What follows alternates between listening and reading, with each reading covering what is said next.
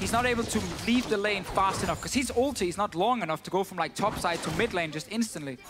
And that's where Taliyah can, can just match the push from either Maokai or the Ryze and then use her ulti to leave. So G2 can keep making plays in mid lane and they look for one now. Caps is here. Oh, Trick gets jumped on. Three members of Fnatic. That was fantastic. Absolutely fantastic. They did not budge. They were setting up a play. Oh, that was beautiful. They were setting up a play in mid and then they see Trick and they're like, all right, let's just not move. He's not going to see us.